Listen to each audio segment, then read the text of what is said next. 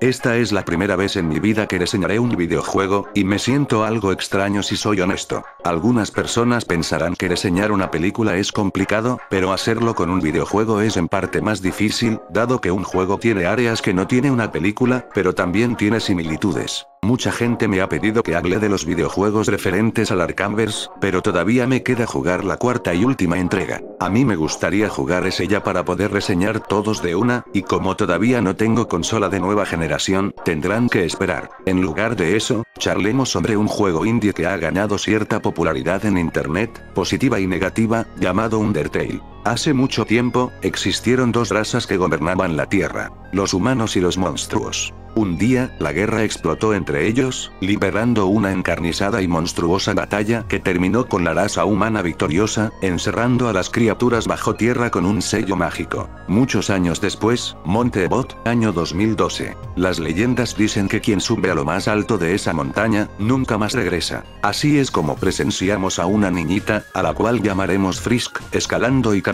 hasta la cima y encontrando la supuesta entrada a este reino, solo para resbalarse con una enredadera y precipitarse a cientos y cientos de metros, impactando en el reino de los monstruos. Lejos de que uno se pregunte cómo diablos hizo una niña de no más de 6 años para sobrevivir a tremenda caída, así es como comienza la historia de Undertale. Undertale es un ejemplar exquisito, por no decir curioso. Nunca he podido tener la suerte de jugar videojuegos de la vieja escuela, aunque he probado clásicos como Super Mario Bros., Batman Returns, y AUS, entre otros. Me resistí un poco jugar esta obra porque pensé que era algo estilo Slender o Five Nights at Freddy's, es decir, una moda del momento, la cual será olvidada en unos meses. Pero para mi sorpresa, resulta que no solo es un buen juego, sino que además tiene bastantes cosas interesantes y especiales. En primer lugar está la historia, que no deja de ser un poco simplista considerando todo lo que se ha hecho en este medio, pero eso no significa que sea mala o olvidable. Bueno, un poco olvidable es, solo un poquito. Es la típica historia de dos razas en guerra con un personaje en medio de estas optando por qué lado irse al final. Sin embargo, la fórmula usada en este ejemplar es un poco más inquietante porque existen dos modos de juego, pasivo y agresivo. Sé que tienen otro nombre, pero el mensaje se entiende igual.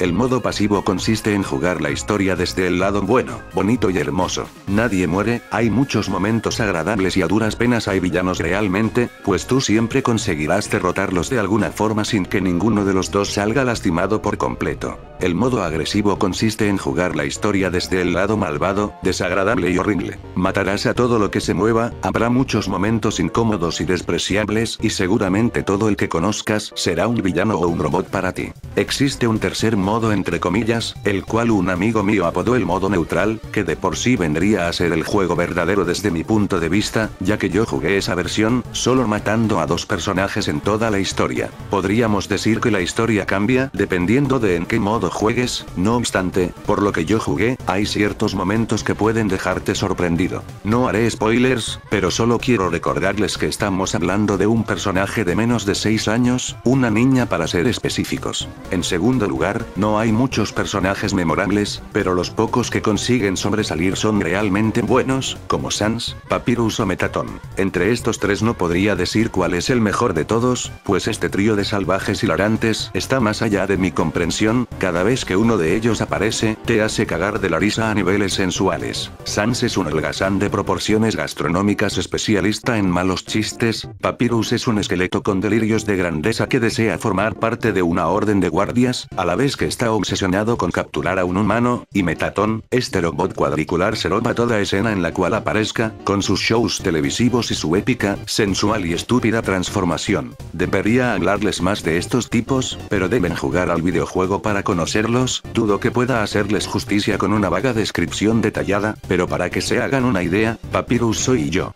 Existen otra decena de personajes peculiares y extravagantes, más de uno podría sorprenderos, pero si soy honesto, ninguno llega a destacar tanto como estos tres, o al menos así lo pienso yo. En tercer lugar, la jugabilidad, pese a no ser la gran cosa, con ciertos retoques de RPG, presenta ciertos momentos llamativos, casi siempre girando alrededor de las batallas. Cada enemigo presenta un modo de combate diferente, algunos son más complicados que otros, pero va más allá. Algunas batallas, irónicamente, no siempre giran alrededor de pelear. Esto es lo que girará alrededor del juego en todo momento. Tú decides si pelear contra alguien o tratar de convencerlo de que no lo haga con varios métodos. También tendrás la opción de escapar de un combate, aunque en ocasiones no se podrá porque el peleador te lo impedirá, existiendo también varios métodos para impedir que huyas de un enfrentamiento. No obstante y como mencioné antes, no es la gran cosa. A algunos se les hará sumamente parecido a Pokémon, por ende si ya jugaste cualquier juego de esa saga, este no te sorprenderá demasiado en este apartado.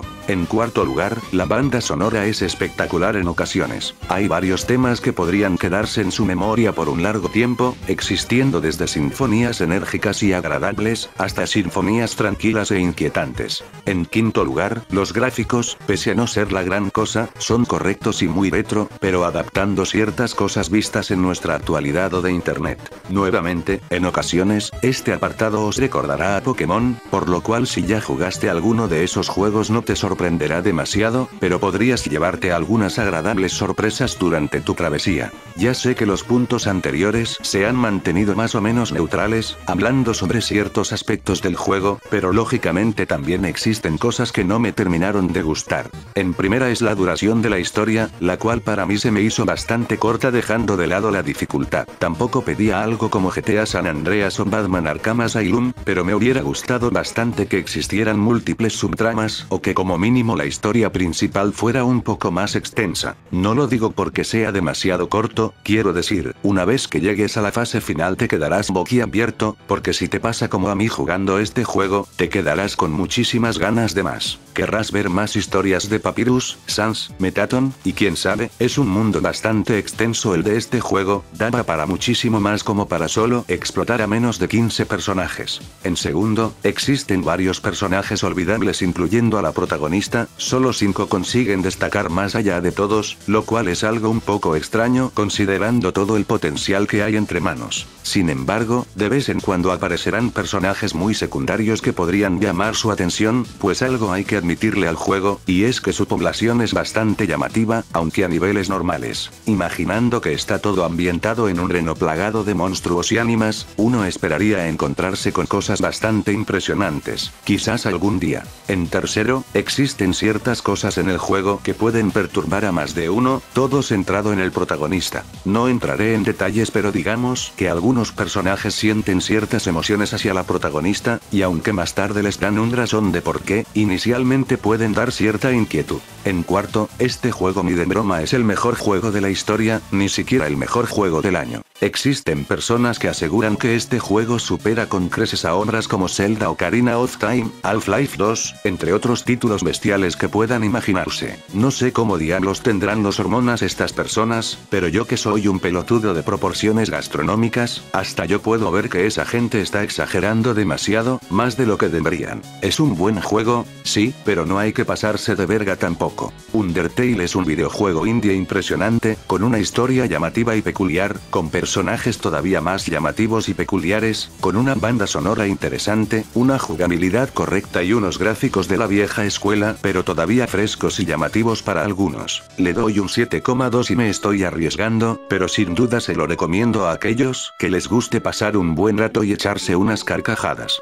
Esto es todo lo que tengo que decir sobre este caso, espero que les haya gustado mi visión hacia este videojuego, y si no, o si sí, dejen un comentario para conocer su opinión sobre el asunto. Ahora bien, antes de irme, tengo entendido que el fandom de Undertale es grotesco, horrible, bufonesco, homosexual, horripilante y perturbador. Quiero dejar en claro que no conozco absolutamente nada sobre eso por lo cual no puedo dar una opinión detallada como me gusta acostumbrar, no por pereza, sino porque quiero mantener mi salud mental estable y correcta hasta el estreno de Batman v Superman Dawn of Justice. Además, prefiero tener una imagen linda y decente sobre este juego. Hasta la próxima.